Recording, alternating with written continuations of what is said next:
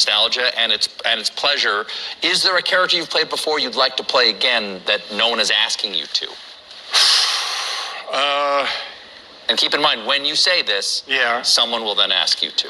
So be careful how that's not true. Th- no, That's not true. Look, who's not going to want Keanu Reeves to be in another Keanu Because- Reeves movie? Because that happens. Um, What? I want to play. I would love to play John Constantine again from the Constantine.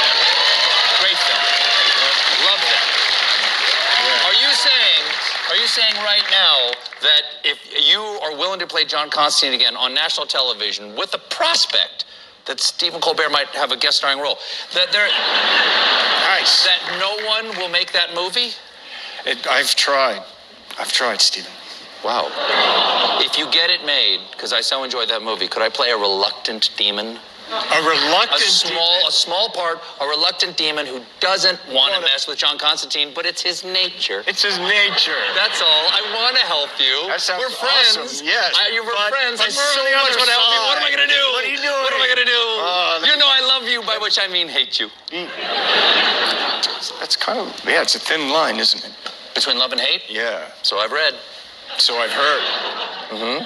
Anyway, yeah, I would love to. Now, you recently have added a, a, new credit to your name. You are now a comic book creator. Tell me about Berserker. Um, yeah, man. Thanks, thanks for asking.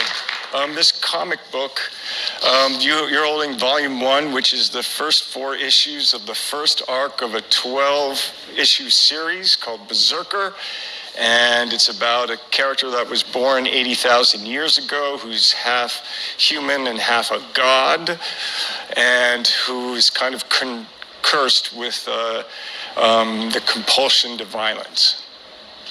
And there is a, a very interesting one frame in here, which uh, uh, everyone is saying is a reference to you. You you know that. Oh, that one. So we all are familiar. We're all we're all familiar with uh, sad. I'm just eating a sandwich. sad man. Keanu. Sad Keanu right there.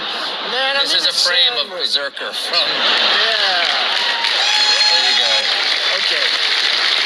Okay. So you're not actually sad in sad Keanu? I was thinking. I had some stuff going on. Sure. I was hungry. So, um, yeah, life and art. So, that simila- similarity. So, Ron Garney is the uh, amazing artist who's illustrating and drawing Berserker. I didn't know he was going to do that, but that's what he did. So, I think it's kind of meta.